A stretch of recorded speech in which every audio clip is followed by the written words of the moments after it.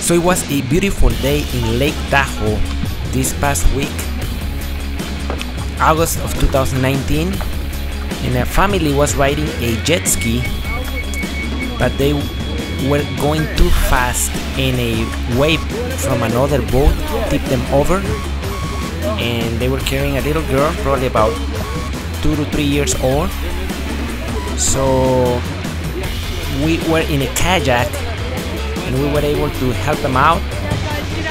The really nice thing about all this experience is that just to see how many people just ran really quick to try to help. There were like three or four guys with paddleboards.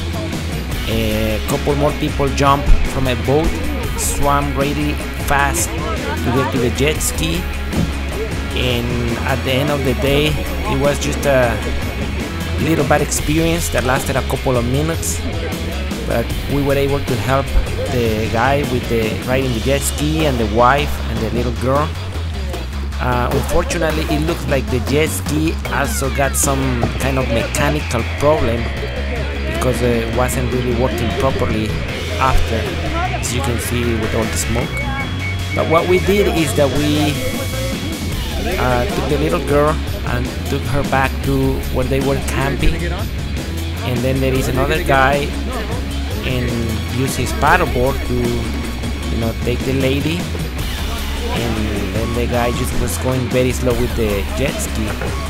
So at the end of the day like i said it was just an experience. But it was refreshing to see how pe- how people uh, are always eager to help and i guess you know that's what i take out of this experience. Is the broken or right. see you later guys